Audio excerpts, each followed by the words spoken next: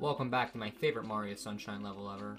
Um, if you didn't know, uh, I'm very good at Mario Sunshine. I'm basically god at the game, not gonna lie. Um, I have all these professional skills that you wouldn't even know of. That's that's how good I am.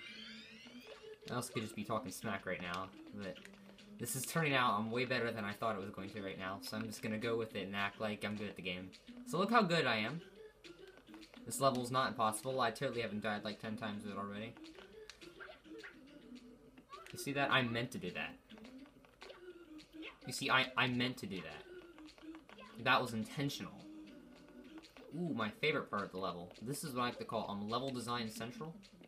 It's uh, pretty good, personally, because um, the level design makes me want to kill myself.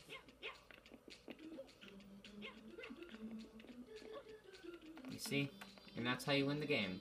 Why is it that when on my first take of just trying to mess around this game, I end up getting it? What even... What even... Uh, you know what? Cue the bloopers. You see, I was working on this yesterday, and on my first try today, um, I already get it.